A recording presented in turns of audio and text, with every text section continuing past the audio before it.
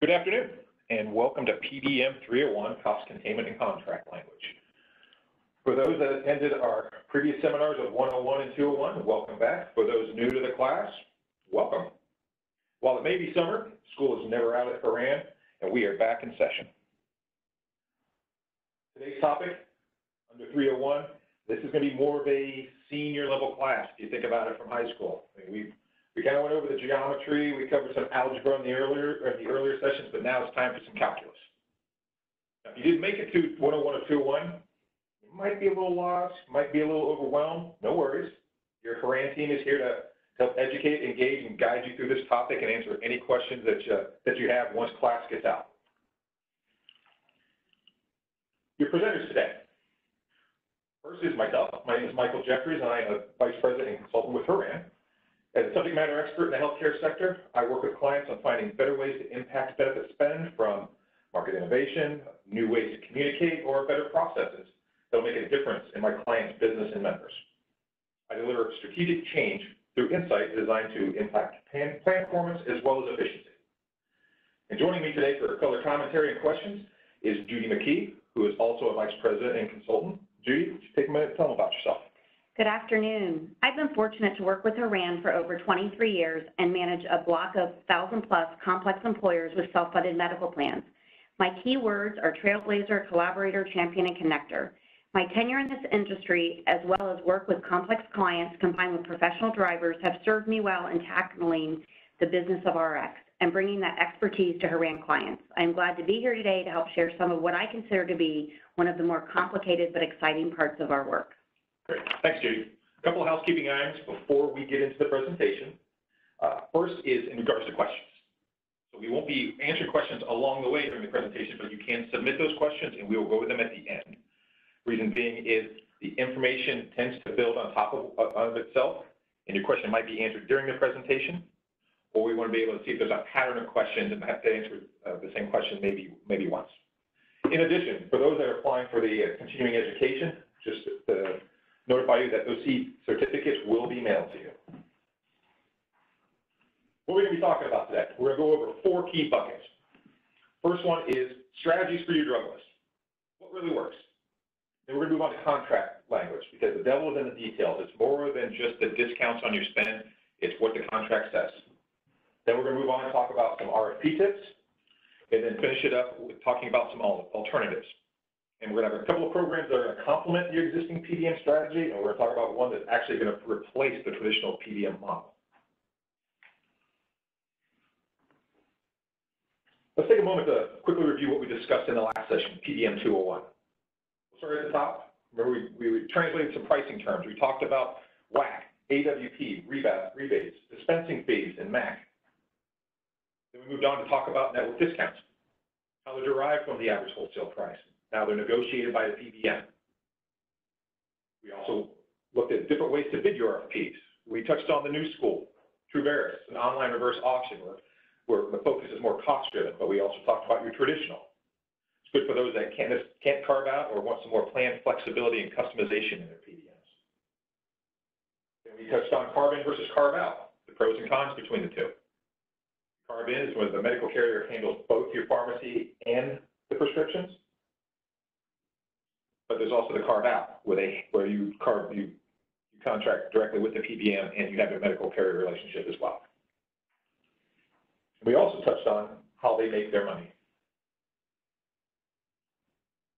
With that, review on some pricing concepts. Central pricing items. It all starts with the wholesale acquisition cost, WAC. It's the anchor. It's where rebates come from. Rebates are determined by the WAC and they're negotiated by that manufacturer. It also drives AWP, the average wholesale price. The average wholesale price is under 20% of that WAC cost. But the AWP also is used for the discounts. Now, the discounts come off of that, that metric, and those are also negotiated by PBM. But a couple other pricing items. First one's your dispensing fees. Those are what's paid to the pharmacy when they when they fill a prescription applies to both your brand names and your generics. Then you also have the MAC, the maximum allowable cost, which is a containment strategy that is applied to generics. And Michael, there are many acronyms, WAC, MAC, AWP. As a reminder from last seminar, is there any set price for drugs? Uh, Unfortunately, there isn't. This is the one commodity we see out there where there is no set price. It's a very gray area.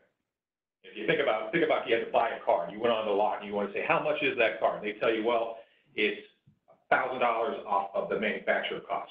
Well, what's the manufacturer cost? Well, they won't tell you what it is. That's kind of the, the gray area that we deal with, with, uh, with PBMs. We're going to talk about some strategies to help at least narrow that gap a little. We also hit on some trends.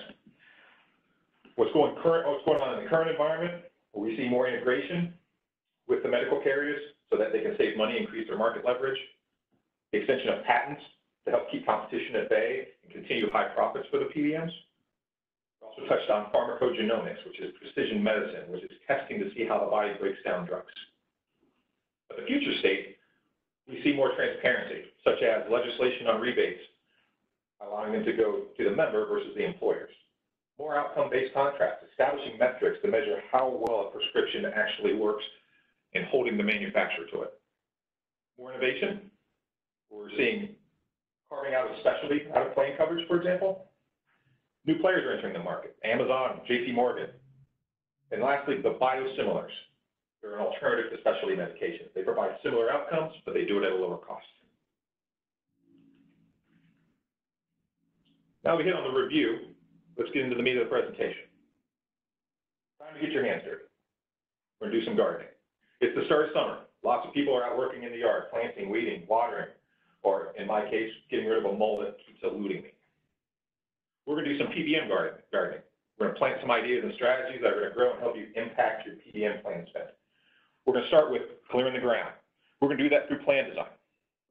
Then we're gonna prepare the soil through some tools and tracking. Once we have that soil ready, then we're gonna start picking your plants. Contract language, again, devil's in the details. We're gonna talk about how to minimize margins, get some effective guarantees. And then we have to tend to it. Tend the garden, tending it with a focus on specialty, where we can isolate and contain costs. So let's get our gloves on and let's get to work. Clearing the ground.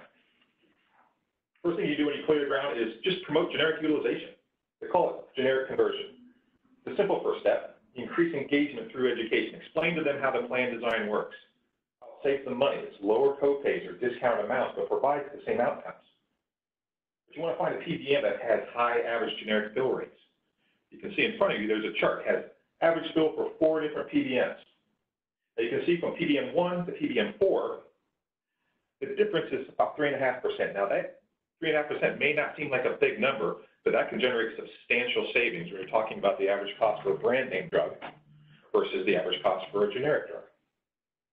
But now if you want to find a PBM that has that high generic fill rate, you want to use that PBM for their resources. Have them help with your communication campaign. Let them build it for you. They've done it before, let them do the heavy lifting. And Michael, just as a reminder, when does a generic drug not work for a member? It's a great question. So a generic may not be the best fit for someone because it may have side effects, it may not produce the similar outcomes, it may not process well in their body. So the generics are not necessarily an option, which would require them to have to stick with their, their brand name alternatives.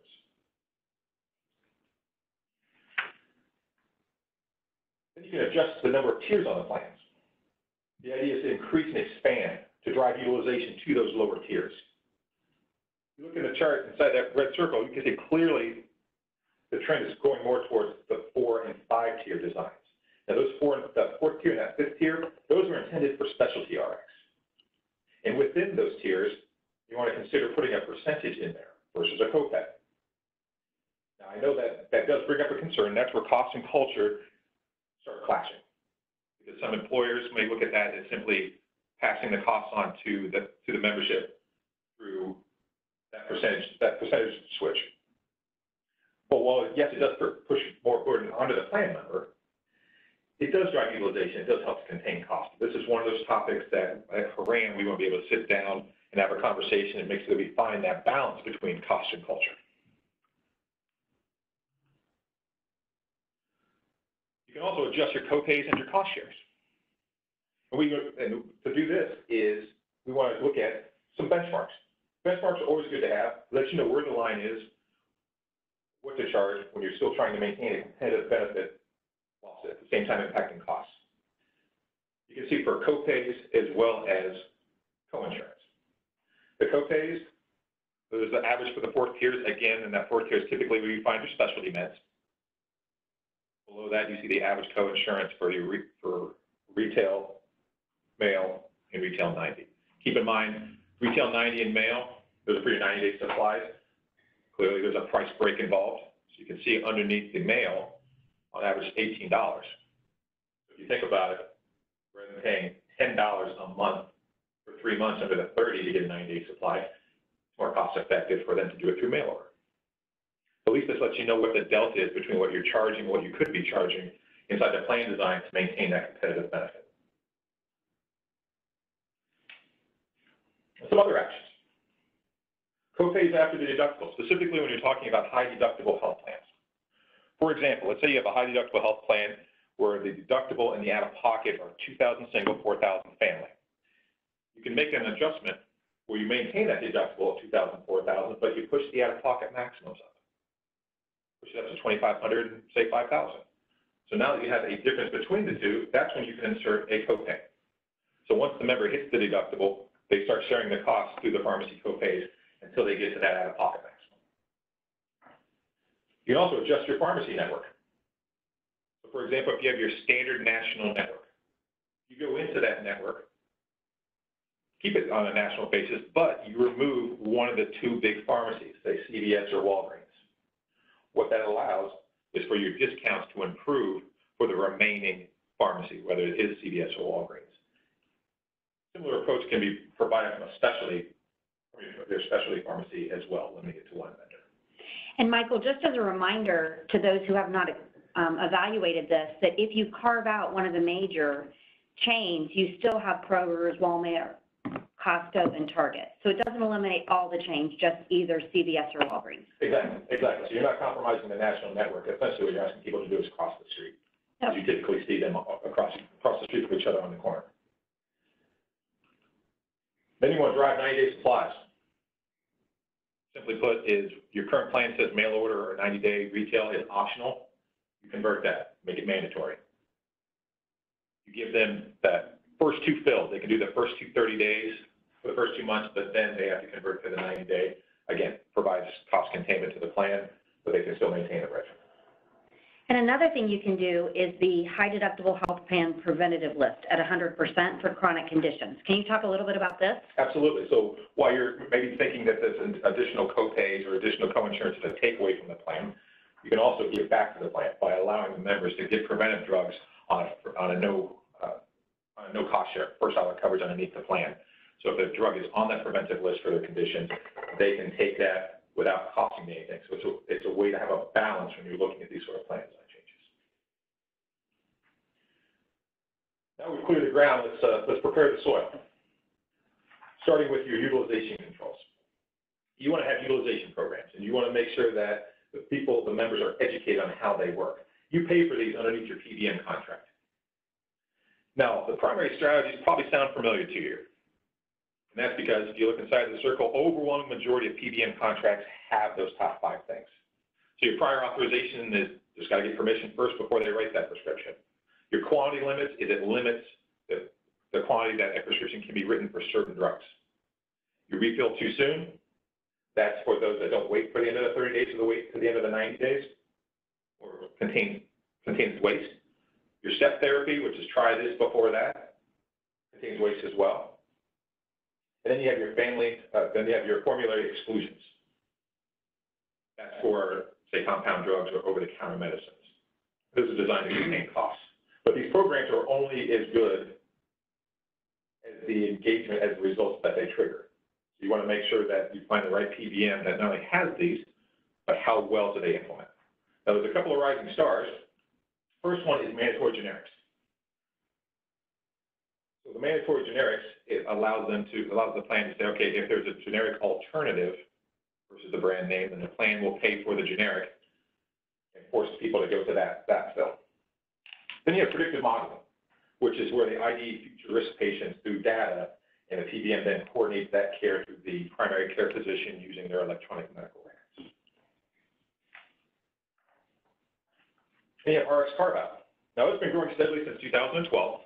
Have 63% of larger companies that do have a carve-out situation. But it could be challenging for smaller companies, those that have less than 500 covered lives. That could be as a result of carve-out fees offsetting the savings, or maybe simply because they're not big enough and the contract won't allow it. However, for the smaller employers, we're seeing more employers entering consortiums. Now, what consortiums are, is it's the ability for like-minded employers to enter in together for, for mass.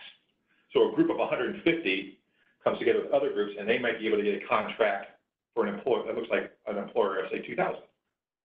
What that gives is better contracts, which means stronger contract language, better discounts. Now, for those that are carved out, and the survey that, that, that was, that was run is, in the next two years, if you're carved out, do you plan on staying carved out? Or you look like carving back in? The overwhelming majority, once people carve out, they tend to, they tend to stay carved out because they're getting better deals. But on the other side, for those that are carved in, asking them if they plan to stay carved in or carve out in the next few years, overwhelmingly, those that are carved in say they're going to stay carved in. Now, that could, that could be driven by the fact that they don't have the option to do so, or they just don't understand the benefits or the ability to carve out.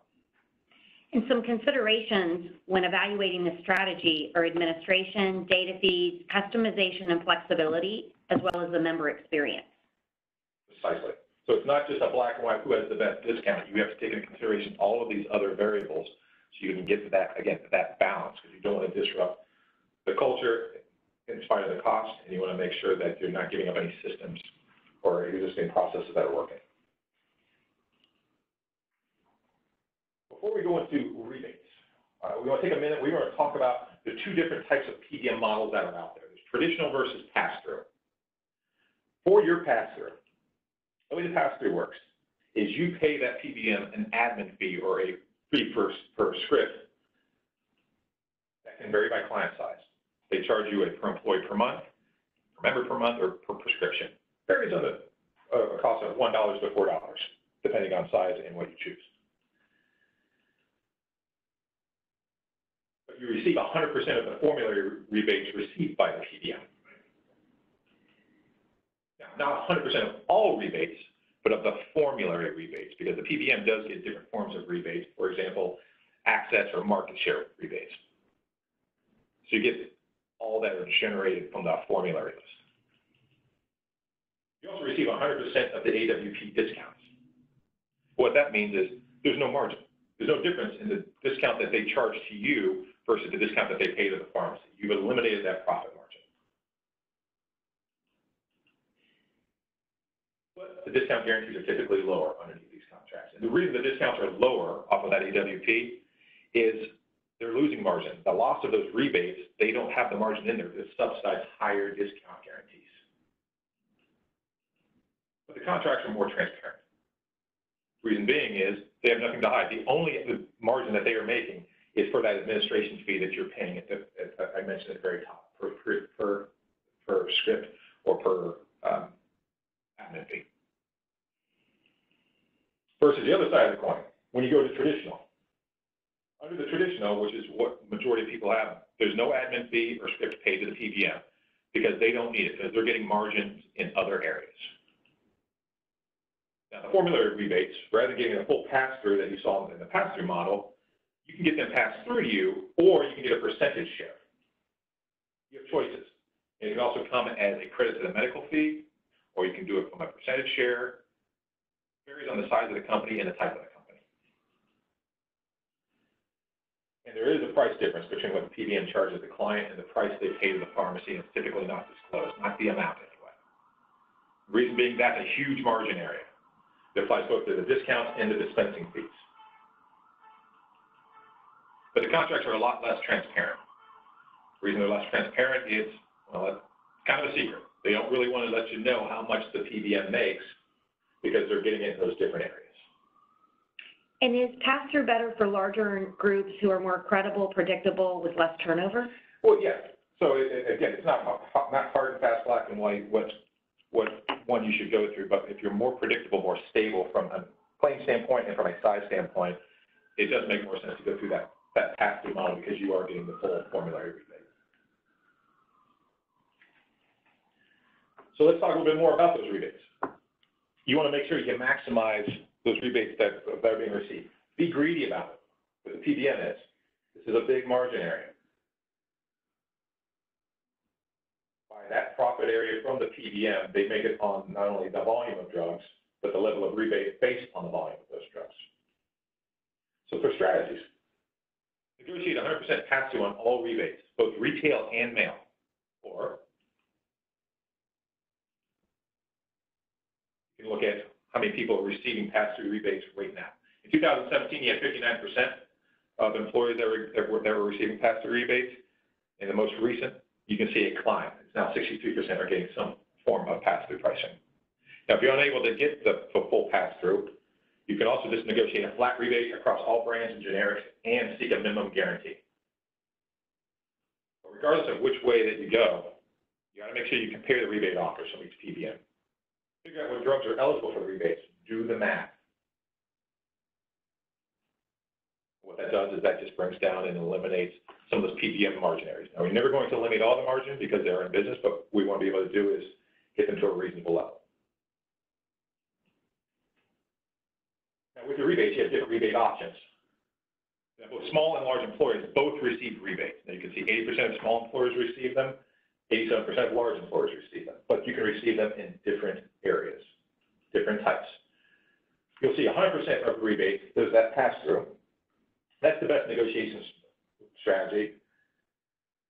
Now, it's a question of whether you can get it with or without that minimum guarantee. Reason it's the best negotiation strategy, it helps with budgeting and forecasting. Large employers are usually more successful with this, this approach, but we're starting to see more growth in the smaller employer section as well. You can see between small and large employers, it's making up about 50 so percent of the type of rebate options that are being used. But you also have the percent share rebates, both with and without those guarantees. Also an opportunity, and again, available to different groups of different sizes. It makes up the next third.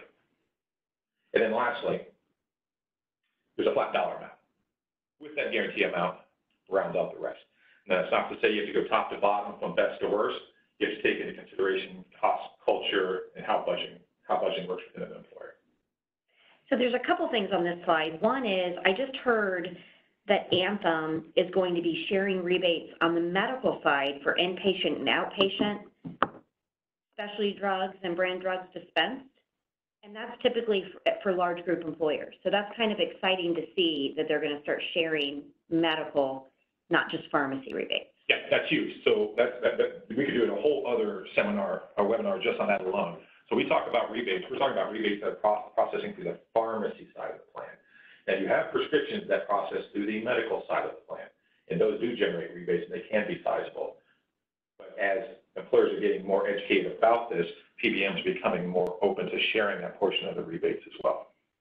And then the last thought is when you have a flat dollar amount, many employers, even larger, decide to do that because they either want to make sure those dollars stay within the benefit plan, so they do it as a function of administration, or rebate checks are not transparent in a division or type of drug or person, and so it would be hard to, to spread across different divisions if you have budget lines that are directly impacting different parts of the organization. Exactly. And again, when we're talking about taking the right strategy and going down the right path, these are the conversations that we want to have with our clients to make sure that we understand those sorts of variables so that we can implement what best practice could look like. Guarantees. I keep talking about guarantees in, in the earlier slides. Let's talk about what kind of guarantees. First one is you want to negotiate guaranteed discounts. Now, when you're talking about discounts, what you want to, what we want to focus on is negotiate where it benefits the most. We want to get the right drug at the right discount. It's a real savings opportunity for employers. And we want to get it multi-year, not just one year, not just two years, we want three years or more. So for example, you may receive a proposal that says that you can get retail of AWP minus 19. What we want to do is we want to make sure we negotiate on that discount with an increase over the course of three years. So yeah, year one is AWP minus 19, but year two, let's get it to 19 and a quarter, year three, 19 and a half. What that allows to do is it helps offset just the normal inflationary cost of cost increase of prescriptions. If they talk a big game about this, about how good their discounts are, get these discounts in writing, tell them to put their money where their mouth is. In addition to just getting the multi-year and getting a strong discount, you want to get a little more granular and figure out what qualifies as a generic drug. Because lower discounts apply to AWP if a single source generic is categorized as a brand, even though technically it is a generic. We're seeing more and more employers are being able to implement these discount guarantees, which is having the PBMs work harder to earn your business. Plans with generic discount guarantees, over three quarters of them have that. Now, plans with brand discount guarantees, a little less, just over half. The reason there's such a big difference between the two is generic discount prices are pretty stable, so it's easier to offer a discount guarantee against that. Brand, the cost is unstable, it's volatile, it goes up higher and higher and outpaces generic, which makes it harder for them to offer a discount, which is why you want to get those guaranteed to help contain your costs. And those guarantees, you want to make sure they have substance. You want to make sure that make, make sure there's some, some meat around there. For example, avoid bundle guarantees. Keep them separate. What that does is that prevents an easy guarantee from subsidizing a hard guarantee. For example, plan has a guaranteed brand AWP discount of 20%. But at the end of the contract year, the actual AWP for brand was 19%. They missed the discount, missed it by 1%. But on the generic side, the guarantee was AWP minus 85, but in actuality, it was even stronger than that. It performed AWP minus 88%. So just on that alone, it looks like the brand missed the discount guarantee and the, the generic did much better than the guarantee. If those guarantees were bundled, the savings, the surplus from that AWP on the generic can be applied to the brand to cover the spread, that lost 1% and hit the brand guarantee. Ultimately, what that means is no penalty payout from the PBM. Put some math against that. Let's say the difference between that 20% and 19% is $100,000. $100,000 deficit, they missed it by that amount. But the generic, the difference between the 85 and the 88 was actually $150,000 surplus. That was additional savings that you got. When bundled, they can take that $100,000 surplus out of that 150 and move it over to the brand to cover the deficit, and all of a sudden, boom, both guarantees are met. Which is why we like them unbundled. Because if they're unbundled, the surplus savings from the generic can't be applied to the brand, which means you can't move money over. So that would trigger a penalty payout from the PBM of that $100,000 deficit that they had by missing the brand guarantee. That's why, again, devil's in the details, understanding how those discounts interact or if they don't interact. And you want to look for guaranteed pricing on all generics, not just some of them. Because if they give you solid discount guarantees on, say, 95% of the generics, that 5%, those that are excluded, those are probably the ones that are most volatile in price, and they need to guarantee the most. So get all of them, package. And you want to seek rebate and generic fill rate guarantees as well. Prevents unreasonable quoted plan savings. So they may tell you that their generic fill rate is going to be 99%, but without a guarantee behind it, is that even a real number? And you want to include provisions or penalties if the PBM breaches those guarantees, because, well, let's be honest, money has a funny way of uh, incenting people to actively manage and help contain your costs.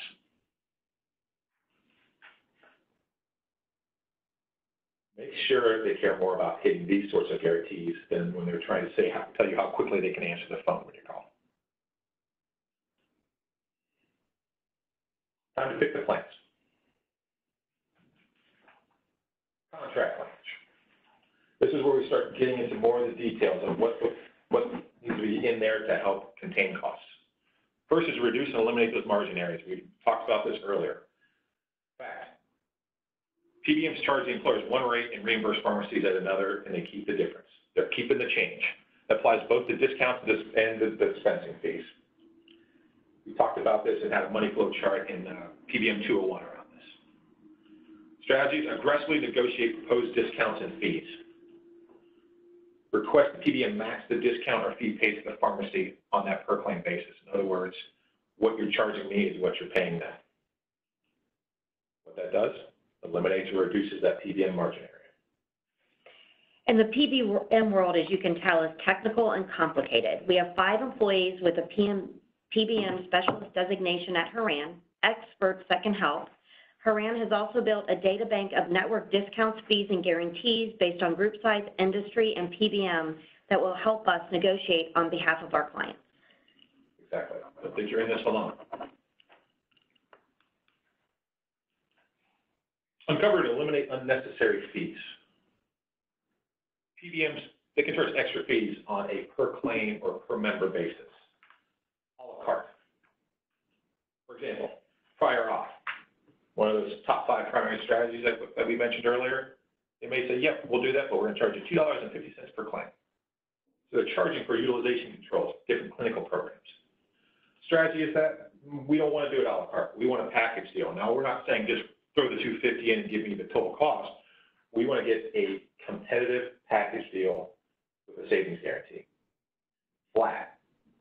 Include all those services. And you want to avoid buying any additional utilization of clinical services without a savings guarantee. They come in with the shiny new toys.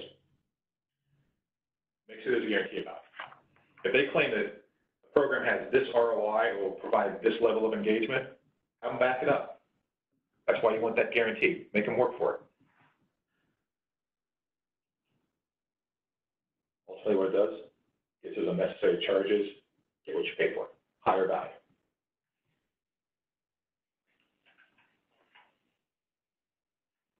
Which takes us to price protection. We're talking about price protection, what, what, we what we say is the definition is, definition is it guarantees the net pricing will not increase above an agreed upon percentage. And if the price increase exceeds that percentage, the employer pays the difference. Inflationary protection. For example, keep talking about the proposal. It has brand AWP minus 19%, which is a strong guarantee. But what we want to do is we want to guarantee that AWP, that starting point, doesn't increase over three years. If you look at the math, for three years, yep, you're still getting AWP minus 19, three-year rate guarantee, but you'll see AWP went from $100 in year one, $105 in year two, $110 in year three. So over the course of three years, that AWP went up 10%. If you had price protection, that would say 5%, then the PBM would pay the employer the difference in charges. Now, AWP, the average wholesale price, that is a factor of WAC, the wholesale acquisition cost. So to be able to control the AWP is a function of WAC, which forces the PBM to have strong contracts with the manufacturer, so the price increase doesn't get passed on to you and pushes your costs up. Now, plans that have price protection provisions right now, only about a third. Two or three years ago, most PBM contracts didn't include this, didn't even want to talk about it. But again, as employers are getting more informed about the intricacies of a PBM contract, this is becoming a very hot topic. We're seeing this as a growing trend. Now we're going to tend the garden.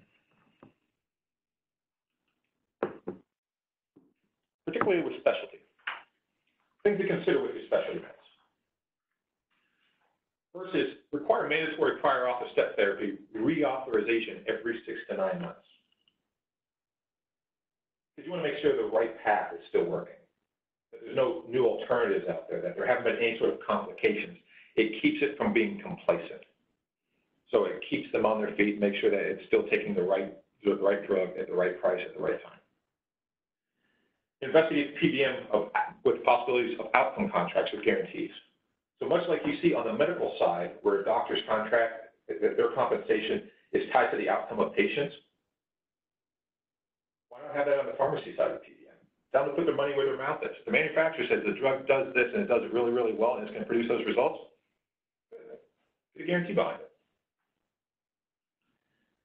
And require enhanced reporting. Such things as how it integrates with medical costs. What are the insurance levels? Don't just settle for standard reporting or have that enhanced reporting fall into an ad hoc category. Because when it falls into an ad hoc, it may cost the plan extra. So again, be greedy about the type of reporting that you, you, you need, specifically when it comes down to specialty, because it's driving the overwhelming majority of pharmacy spend right now. Understand the bio, biosimilar options that they offer.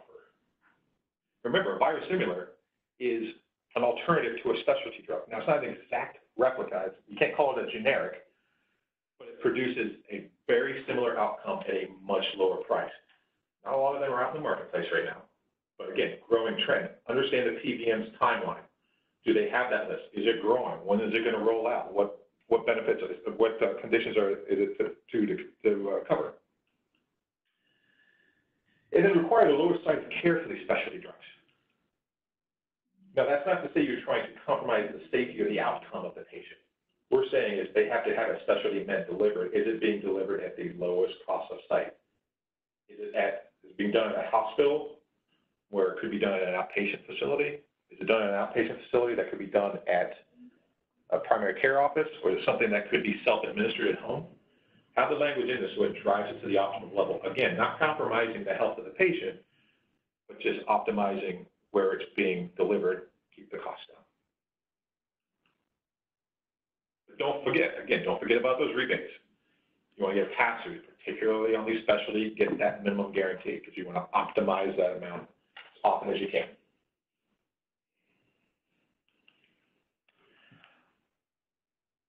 Another item of specialty comes in the form of the manufacturer copay programs. And we're spending a little time on this because a lot of moving parts here. So the issue is, is plans that have an accumulator for the manufacturer copay programs. So what you see in front of you is, is a chart, 12 months, talking about a $4,000 specialty med that needs to be taken every single month. We're going to assume the plan design has a $4,000 out-of-pocket max, and the plan has a four-tier, has a four-tier pharmacy card where this specialty falls under that fourth tier, and that fourth tier is a 20% copay. That's what the member pays for that drug. So for a $4,000 drug, the 20% cost is $800. 1,000, 20%, 8,000. That's what the member would pay without the coupon from the manufacturer. But the manufacturer in this situation is offering the member a $750 coupon towards that $800 drug.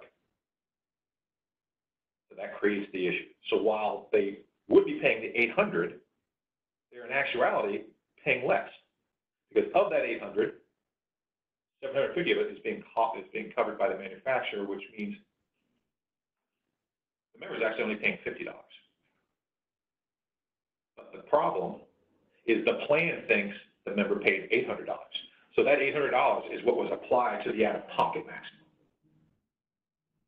So what happens is every single month, the manufacturer is helping the member. The member's only paying $50 per month, but the plan thinks it's paying $800 a month. So over time,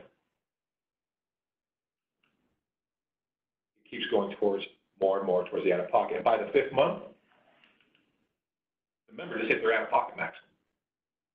The out-of-pocket maximum was four thousand, even though they only paid two hundred and fifty dollars in copays, the plan thinks it paid eight hundred, because it took into consideration that coupon. So what happens is they hit that out-of-pocket maximum, then the plan picks up the full cost of that drug for the rest of the year, four thousand dollars. Ultimately, for that plan year, cost the plan forty-four thousand dollars, even though the employer only paid two hundred and fifty. And Michael, the good news is there's programs to support this and change this. And Optum, ESI, CVS Caremark are doing this now, and Anthem and Genio starts 1/1/21. Exactly. Finally, thank goodness, they gotta get to it. That's the solution. So let's look at the solution Judy was just talking about. Again, drug hasn't changed in price, only now the solution is we don't have any accumulator of that copay. So with that eight hundred dollar drug, I mean, eight hundred dollar cost to the member, manufacturer is helping them out, giving them that seven fifty. So the member is only paying fifty bucks, just like they were before. However, now the plan knows it only pays fifty dollars. So just the fifty dollars now applies to the out-of-pocket maximum. We've corrected the issue. We removed the value of the coupon from accumulating towards the out-of-pocket maximum. So over the course of the year, you'll see it's processing correctly. So rather than hitting the out-of-pocket maximum in the fifth month, he keeps paying, he, she keeps paying that copay over the course of the year. They never hit their out-of-pocket maximum. They pay their $600 in copays, $600 went towards the out-of-pocket maximum, and the plan cost needed to pay that $3,200. You look at it, with and without, what's the dollar difference? Well, by not accumulating, accumulating that, coupon towards the out-of-pocket maximum, it increases the drug manufacturer's contribution. They paid fifty-two hundred dollars more. The member, their contribution increased to three hundred and fifty dollars. But the employer costs actually generated savings. They paid fifty-six hundred dollars less. Now, you might be sitting there saying, well, that's not really, that's not really fair for the employer, for the employee to now pay more for the drug. They're not paying more for the drug. The plan's operating as designed. It was always designed and intended for them to pay that fifty dollars. They just omitted that, that, that coupon from the out-of-pocket accumulator so that they're paying the correct amount.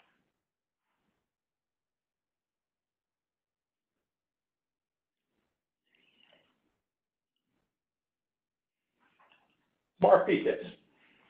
Don't rush it. Give yourself plenty of implementation time, three to six months from your open enrollment. That way you can negotiate penalties for missing those deadlines. Leave it to the experts. Let the PBM design the formulary.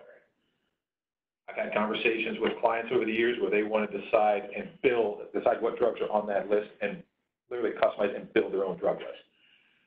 Leave it to the PBMs. They're the experts. They have the background. They have the knowledge. They're not going to jeopardize the member health.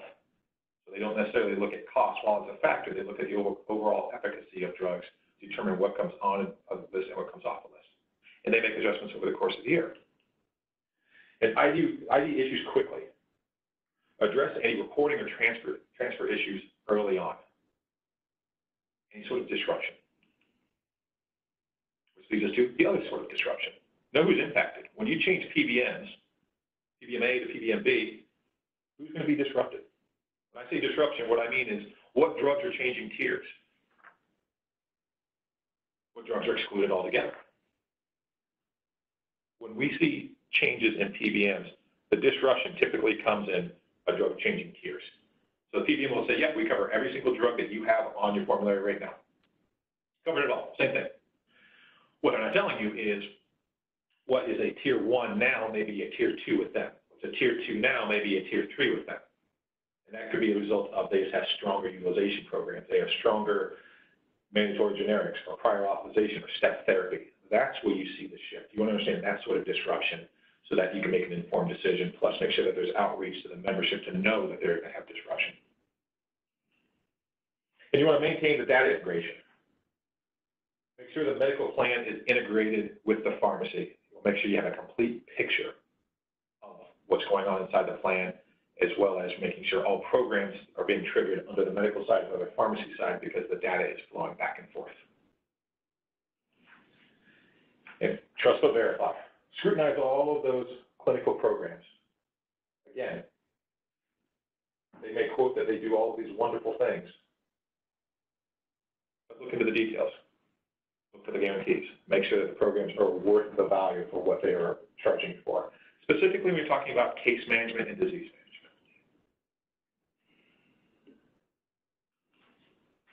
Some other consideration- considerations. Flexibility and- formulary design, meaning how many drug lists do they have? How often do changes occur? Do they make changes once a year? Do they make it quarterly? Do they make it every, every three months, every four months? Understand when the drug lists can possibly change.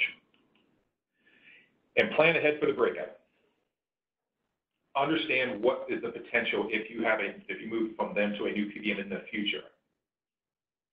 Because what you're trying to do is avoid exposure to any transfer fees or any carve-out fees. If you leave. Not to say that you ever will. You may transition to a new PBM and be there for a very long time, but always plan for the breakup to avoid unnecessary costs.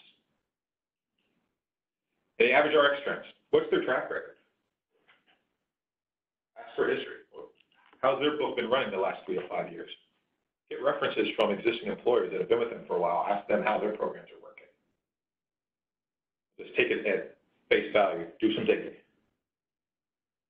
Reporting flexibility and costs. We hit on this earlier with the specialty, but this should apply to all reporting. Understand what standard is, understand what ad hoc is. Getting alignment on what standard means is very important.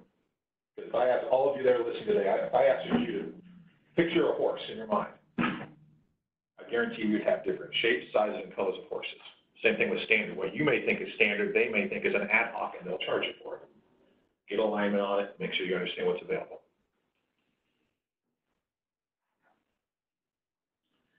And proof is in the pudding. What does the data say? Look for high generic utilization percentages, what we started off with, right, when we're clearing the ground. But you also want to look for low average generic and brand RX costs. And Michael, how about the length of a PBM contract? And if you're in a multi-year, what happens if you term early? That's a great question. We talked about uh, the importance of getting a multi-year discount, multi-year contract with PBM, which is great, but you got to understand the fine print. So terminating early could be, there could be a termination fee, there could be a loss of rebates. There's, un- there's, there's costs involved by going away. Not saying that's the reason to avoid a multi-year contract. It's just understand, A, what the impact is for that, and B, what is the timeline for notice? They may say you have to let them know 90 days in advance. Just understand the exit strategy and what costs are involved, and then negotiate those if you can to get rid of those to avoid it. Great question. Let's touch on some tools to help in the garden. Some alternative programs. First one is GoodRx. Now, this is free to use. It's a telemedicine platform. It provides free RX coupon for discounts on medications. Now, their advertising says it can save your member up to 80% on their prescription payments. Now, this rolls outside of the plan, so it doesn't go towards the out-of-pocket maximum. But it could give your members the opportunity to save on their prescriptions uh, on a free-to-use platform. There's the website to, to go and check out the list. But then you also have GoGo Meds. It's also free to use. But rather than a telemedicine platform, it's actually an online pharmacy. What they have is a price comparison tool. Well, they'll give you the, the price of their drug plus the price of three other PBMs. It's not an all-inclusive list. It doesn't include every drug out there. It's limited to about a thousand drugs, prescriptions, but they're pretty common. In addition that, they offer home delivery. Also operates outside of the plan, so it doesn't go towards the out-of-pocket maximum. But again, complements your PBM strategy and can allow your members to, to get drugs at a much, a much more discounted cost than what they see inside of the plan. Again, there's a website. But then you have Scout RX. Now this, this is more cutting edge. This is a, a, a new approach I mentioned at the beginning. And rather than complementing your PBM strategy, this becomes the new PBM strategy. So what ScoutRx does is they partner with another PBM called ProAct. They carve out specialty altogether. Specialty is no longer covered underneath the plan. And the reason that they completely carve it out is they want to be able to tap into primarily the manufacturer assistance programs, which allows, uh, allows people to get drugs at a reduced cost based on salary needs. So by completely carving it out, they work to get manufacturer assistance for the employees, for the membership, drug at a drastic, drastically reduced cost. If they can't get through manufacturer assistance, then they go to the copay card programs, which we talked about earlier. And if they can't get the assistance through the copay program, they have a relationship with an international pharmacy in Canada, in Montreal. This is a little more drastic, a little further down on the spectrum, but they are quoting first-year savings on your pharmacy spend is 43% because of the ability to carve out the specialty. With Scout, with Scout RX, again, that requires further conversation. If you want to learn more about that, then we can, you can contact your Horan team member and we can delve into it a little bit further. But just want to let you know that it is out there. It's more of an aggressive approach to things. Now, if you split these three across those different categories, we talked about gardening today. The Good RX and the Go-Go Meds is more about preparing the soil. Whereas your Scout RX, I would drop that into the tending the garden section because it's a little more aggressive. And Michael, as far as like a Scout RX, we have a team of people who are actually looking at different PBM solutions. And I know you're part of that team to take real client data and see the impact so we can really assess what good options there are out there and how those programs work. Exactly. So we have, so we work with a handful of our clients that have agreed to allow us to de-identify all of their data. And when these solutions are presented to us, rather than relying on their white papers or their results, we now have our own data that we can run the water through the pipes to see how good these programs are, see if they're as good as they say. That way, when we start talking to our other clients about it, we have real results based on our real data. And lastly, it's really interesting because Kroger is advertising a membership pro- program that's powered by GoodRx. It has an annual fee and suggests lower cost drugs. So it's really good for consumers, but be careful because pharmacists don't process it through the insurance company, but you can file a paper claim. Typically, single source brand drugs have no better discount, but you may get savings on generic and multi-source brands. Exactly, exactly. So with your PBM garden, just like any garden, no two are alike, but they all need to be watered, they all need to be tended to. And Horan has the resources to help, help you grow that garden. We are here to provide the guidance and our green thumb expertise to help you plant the right, plant the right plants, make sure they grow the right way. And that allows us to help contain costs, have you better educated about your PBM contract. Now, this brings us to the end of uh, PBM 301. At this time, we're going to see, we're going to review to see what questions were submitted. And you must have done a great job because we have no questions. You must have perfectly explained it. Excellent, excellent. Well, for those who, if you may have questions now, but if you are sitting on information and it starts to come to you later that you need additional help or further clarification, please do not hesitate to uh, reach out to us. Well, thank you, thank you again for attending. Make sure you have a great day and everybody stay safe.